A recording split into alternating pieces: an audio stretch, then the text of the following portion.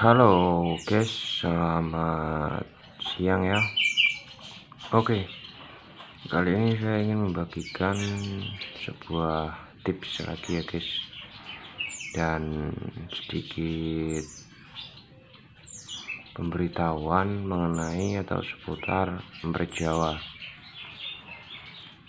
Oke guys, di sini ada empret Jawa saya yang sudah mulai ngeriwik ya guys ini adalah usia kurang lebih satu bulan.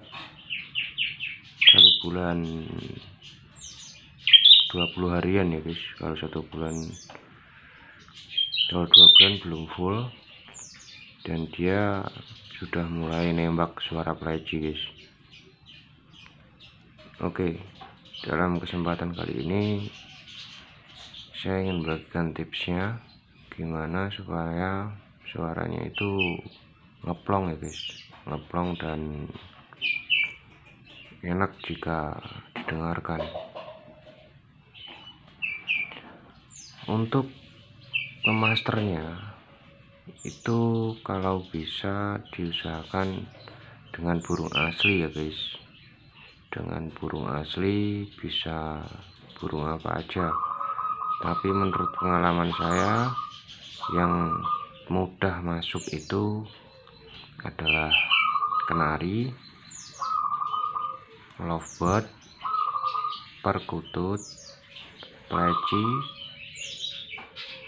Nah itu kedengaran ya guys suara perkutut saya dan suara pleci saya yang lagi nembak ngalas. Itu saya tempel terus guys. Saya tempel terus setiap harinya berdekatan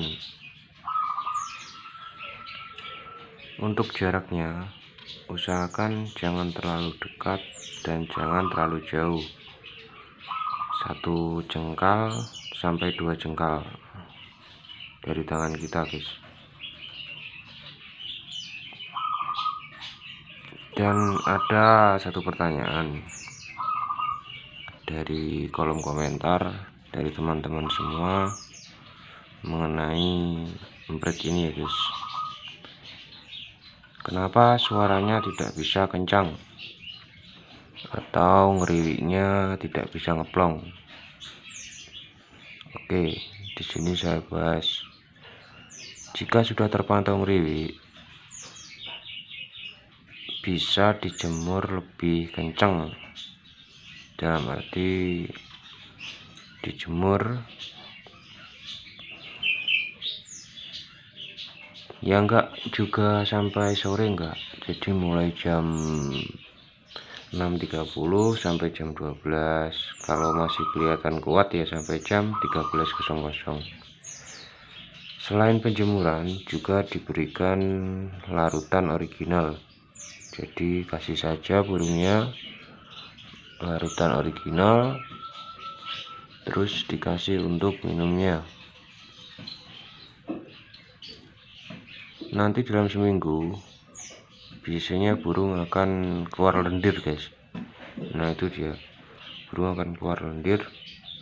Di situ sudah saya pastikan. Sudah bisa dipastikan hampir 99,9 burung akan keluar isianya mulai ngeplong. Kedengeran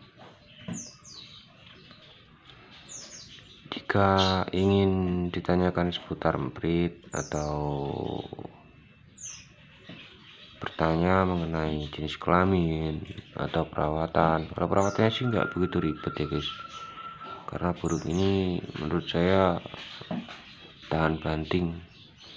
Jadi mau ditaruh di tempat apa aja mau dingin panas tetap bisa beradaptasi dengan baik apalagi kalau dari lawan guys kalau memelihara dari trotol misalnya ingin di master juga bisa. Tapi burung dalam keadaan dikerodong.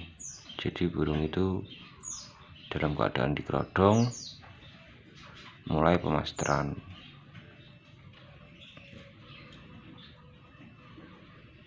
Oke sekian dulu tips dari saya yang mungkin bisa bermanfaat untuk teman-teman emprit semua ya guys.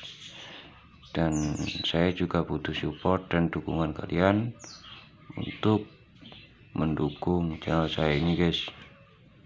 Oke terima kasih. Salam sehat semuanya